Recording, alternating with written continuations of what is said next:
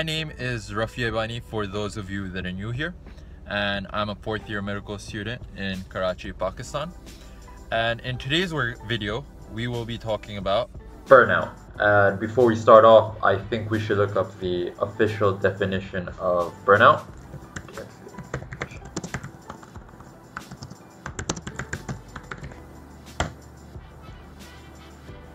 And according to this, burnout is the is defined as the exhaustion of physical or emotional strength or motivation, usually as a result of prolonged stress or frustration. You guys might be wondering, why why am I talking about this topic? Why burnout? Okay, so the thing is, burnout is a worldwide phenomenon and it's not only specific to medical students. Whether you're in school or whether university or whether in college of any field, I think this is something anyone could face, whether you're a professional athlete or whether you're a mother of five. I hope you get my point. So, okay, so I want to talk about the things I faced the past couple of months, which led, like, and I want to, and then I want to talk about, like, what I faced and what I did to overcome this.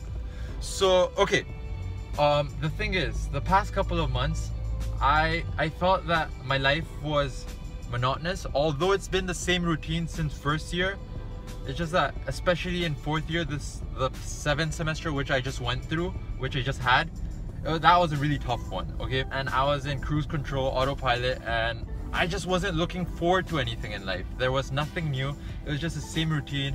Take the bus to university, get stuck in Karachi's amazing traffic, attend class, and then go to ward, and then after that, come home, and then study and study.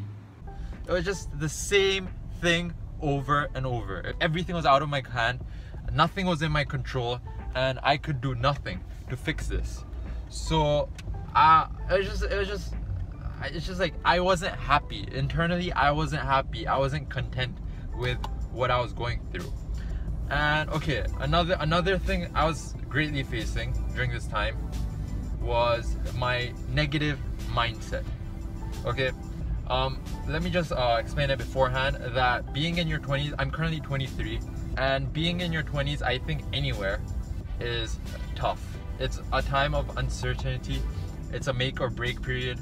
It's generally considered as that you have to work hard and you don't even know whether what you're working for it's it's worth whether it's gonna be worth it at the end whether all your hard whether your hard work would be fruitful at the end of it you don't know so it is a time of great uncertainty instability and you really don't know what's going on and in a time in a phase like that the last thing you need is a negative mindset instead you should be having this positive outlook whether you're motivated every single day to achieve what you wanna what you set out to achieve for so I exactly wasn't having that. Although I spent the same, I spent a great time of uh, time in the library.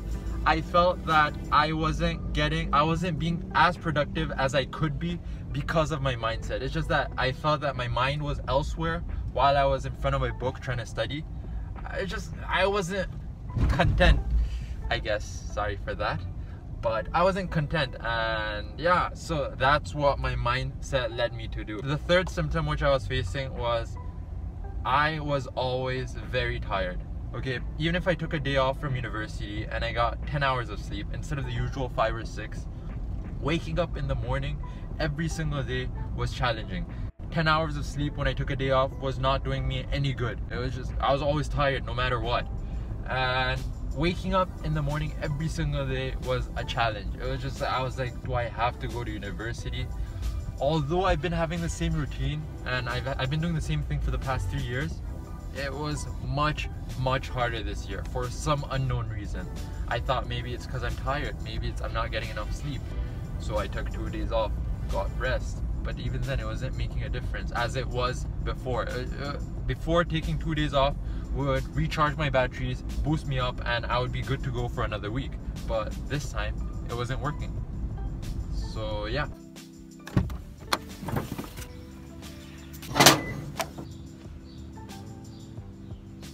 So I just told you guys the problems I faced, but there's no point of making a video if I don't give you guys a solution, right? So now here we come to the solution part of the video. Okay, so the past, uh, so what I did, okay, if you guys watch our vlogs, you guys would probably know that my summer break started. And this month, I, I've decided, okay, okay I want to be productive. As well as I just want to get rid of this negative mental state which I was facing. So what I started doing, okay, so here are a few tips, I guess, from me. Um, and they're backed by me. So if you guys have, yeah, okay. So what I've decided to do was spend three to four days of the break, the first like week or so, not thinking about Barhai. Just whatever that causes stress, whatever you're stressed out, stressed out about, just get away from it. Okay, so get away from stuff that triggers stress. So for me, that was my textbooks and like you know anything related to studies. And you know I just like got off Facebook because on Facebook I'm joined um, I'm in those groups which talk about um, you know everyone's study progress and stuff like that. And that just like caused a lot of anxiety and stress and it just made me feel guilty.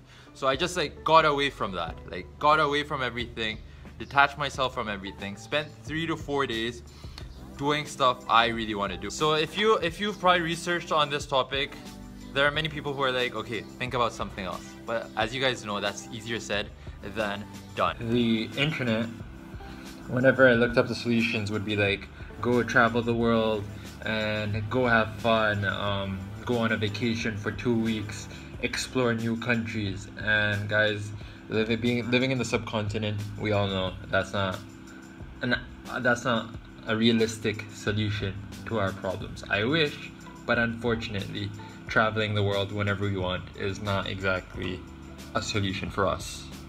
So, okay, so let me give you examples of what I did to get myself, like, to think about something else.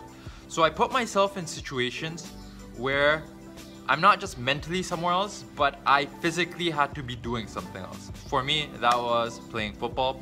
When you're playing football, you have to physically be active and you have to, you're, you're, you can't be on your cell phone or you can't be thinking about stuff. Otherwise, you're playing a game of football with other people. Or I go to the gym. Try working out and you know I'm just like it physically and mentally forces me to think about something else and be elsewhere mentally. Okay? And along with that I tried stuff like reading books and you know just keeping my mind active. And okay coming to the third solution. I think having a good group of people around you who you can talk to, who you can vent out your problems. Because let's be honest, the things you're facing, your parents aren't exactly there. Like they're not they don't know what you're going through socially. Like obviously life happens socially and you can't talk about everything with your parents or your siblings. You need you need a group of friends who are going through the same thing and would be able to relate better relate to you.